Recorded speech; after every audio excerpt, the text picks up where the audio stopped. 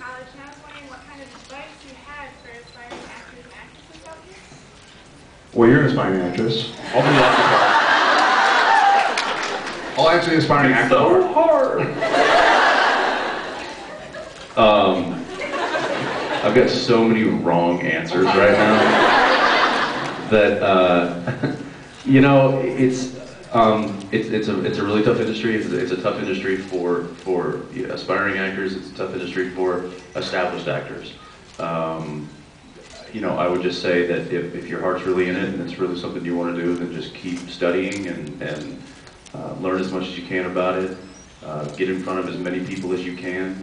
Um, you know, it, it's, it's, a, it's a game of numbers. It really is. The more times you roll the dice, the better chance you have of hitting something. So just keep after it, is what I would say. Yeah, and keep your keep your craft first and foremost. You know, um, it's not about um, the money you make. It's not about what magazines you're on the cover of or how well your movies do or something like that. It's just about kind of becoming the best actress or actor you can be.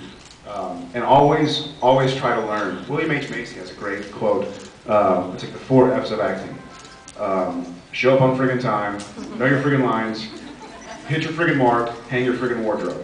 And it's just kind of the idea that it's not about like, hey, negotiate for this, or hey, like, do this many movies. It's like, hey, enjoy your craft, enjoy the process, and then whether you're making $100 million and you're Will Smith and, and you're everywhere in the world, or whether you're doing um, local plays or something, you're still an actress. Being on a TV show doesn't make you an actor. Um, loving the craft and acting makes you an actor. As So- you can see with most television these days, being on television doesn't necessarily make you an actor.